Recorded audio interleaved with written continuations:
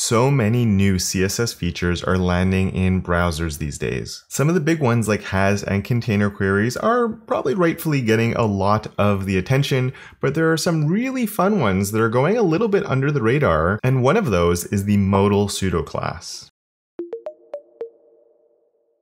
Hi there, my front-end friends. Thank you so much for coming to join me once again. And if you're new here, my name is Kevin, and here on my channel, I help you fall madly, deeply in love with CSS. And sometimes it's the little things that just make our lives a bit easier that are some of the most useful things that we end up learning along the way, so we don't have to come up with other hacky solutions to be able to do different stuff. And I think the modal pseudo class is one of those examples. So let's dive right in, and I have an example here uh, where I've created a modal and you can see that it opens up and it's a, I put modal dialog, maybe a dialog modal. Um, if we look at the HTML here, I am using the dialog element and this one is the example of a modal, and then I have a regular dialog element here. So there's two different types going on. I'm not going to deep dive the big thing between the two of them because I've done a in-depth video on the dialog element itself, uh, including how you can style the backdrop so it actually like shades out the background and stuff really easily. But the big difference is when I have the modal version of it opened, I can't select or interact with the background at all. Whereas if I use the regular dialog element, I can actually still interact with the background. And this is just like a position absolute that's in front of other stuff. So it doesn't cause a layout shift. And for certain use cases, it's fine. But the modal itself, where it actually pops up over the screen and prevents you from interacting with the background, I think is a little bit more interesting. Um, and well, actually, we'll start right away by coming up and say we take my dialog,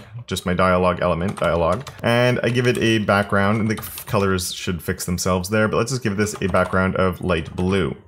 And if I do that, there we go, everything comes back to normal. And now if I open my modal, as you'd expect, the dialog element has a light blue background, but if I open this one, it also does. Um, so, you know, it could come down to you have a class modal, like I did here. I have my dialog of example modal, and then I have my dialog here of example dialog. Uh, but we don't need to even bother with that. And you might have multiple different use cases because it's not only dialog elements, there's also a full screen, which we'll see in a second that can use this where you can use the modal like that. And it's a pseudo class, and I'll give that a background. And we'll do light coral for this one. And if I open my modal now, you can see that one has the light coral, but if I open this one, it's still the light blue because it's only targeting something that's actually using a modal. Um, but we're just, as long as you use show modal versus show, that's the big difference with the JavaScript of whether it's a modal or not. Um, and so when you're using the show modal, then the modal pseudo class will work. And there we go, we can see it right there. And the other time that it also works is when you go full screen, where I don't, it's not even capturing all of it. Uh, but basically, when you full screen something, those black bars that would normally be there, that gets styled as well with the background color. And there's other styling you could technically do on the full screen um, if you wanted to, because let's just add some padding here for fun. Padding of 3 rem. Now, I wouldn't necessarily do that because it's going to add it to here.